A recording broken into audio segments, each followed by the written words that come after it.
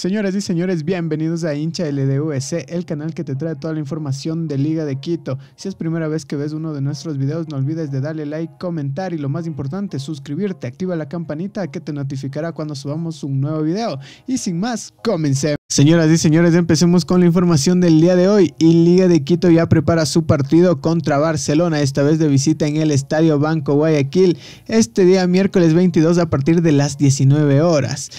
Otra novedad en Liga de Quito es que para este partido estrenará su nueva camiseta, la del mes del hincha. Sí, esta camiseta en color azul, que cabe decir es un azul muy bonito. Algo que también dio de qué hablar en estos días son las publicaciones que circularon en redes sociales del juez central que dirigirá este partido. Publicaciones que hacían alusión a su afición por Barcelona. Pero déjame saber en los comentarios qué opinas sobre este detalle del juez central. Y Liga de Quito ya tuvo su último entrenamiento previo al partido contra Barcelona y Joseph Alcácer en rueda de prensa dio declaraciones a los medios de comunicación en temas de cómo viene el equipo y cómo ve el partido contra Barcelona y los próximos partidos que se le vienen para Liga de Quito. Gonzalo está muy bien, Creo que a final de semana le habrán una prueba y podremos ver si, si la fractura está solidificada. Johan sigue trabajando a buen, a buen ritmo. Y, eh, y con respecto a, al Choclo y Estrada han evolucionado favorablemente en estas, eh, en estas últimas eh, jornadas. De hecho, entran en, en, convocatoria, viajan con el equipo. Y como os dije el otro día, no se trata solo de, de lesiones o de a veces hay molestias, hay fatiga, hay cansancio. Estamos eh, con mucha densidad de partidos con pocos días de, recuperación, entonces a veces hay que gestionar eh, eh, la plantilla para que nos den el mejor rendimiento. Sabemos lo que nos queda, nos queda un sprint final muy exigente, pero, pero ya estamos terminando y todo el mundo está poniendo de su parte para, para participar e intentar dar lo que le queda por, por liga. Con respecto al, al, partido, yo creo que tenemos uno de los eh, partidos más importantes de, la temporada por, por delante, por, por, eh, por, el rival, por la, por la entidad, por jugarlo eh, fuera de, casa. Tienen una gran plantilla, están haciendo un buen final de, de etapa, están con confianza y somos conscientes de la dificultad, como, como siempre, de todos los partidos, pero evidentemente cuando el rival que tenemos enfrente tiene la plantilla y tiene el nivel que tiene en Barcelona, pues evidentemente nos gusta enfrentarnos a este tipo de, de, retos. Eh, nos quedan a nosotros nueve puntos, a los rivales que tenemos por, por encima seis. Somos conscientes de que eh, para estar en la pelea hemos de conseguir los nueve, empezando por los tres de, de Guayaquil. Y con respecto al árbitro tengo poco que, decir, no suelo hablar de los árbitros ni antes ni después de, de los partidos y como entenderás como norma tampoco voy a saltarme esta vez. Y el Choclo Quintero en duda versus Barcelona, ¿quién lo reemplazaría? Liga de Quito viajará a Guayaquil para enfrentar este miércoles a Barcelona. El encuentro está programado para las 19 horas y es un partido postergado de la fecha número 5 de la Liga Pro, que no pudo disputarse en su momento debido a la cantidad de jugadores convocados a las selecciones. En las últimas horas del árbol surgió dudas en el puesto de lateral derecho luego de que el Choclo Quintero sufriera una contractura en el aductor derecho en el partido contra Independiente. A pesar de estar convocado, está entre algodones y Joseph Alcácer evalúa su posible reemplazo.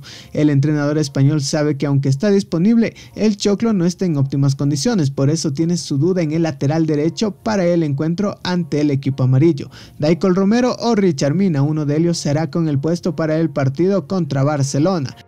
El tener al Choclo entre algodones podría hacer que Alcácer decida que no arranque como titular para así evitar una lesión que lo deje fuera por algunas semanas. Romero ha sido la primera opción para el DT de liga en lo que va del año para ocupar el lateral derecho cuando Quinteros no está disponible por lo que corre con una ventaja frente a Mina.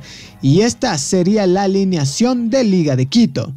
Liga de Quito saltaría con un 4-3-3, que en el arco Alexander Domínguez, en la defensa Leonel Quiñones, Richard Mina, Ricardo Ade y Daikol Romero. En el medio campo Marcos Angulo, Oscar Zambrano y Lucas Ezequiel Piovi.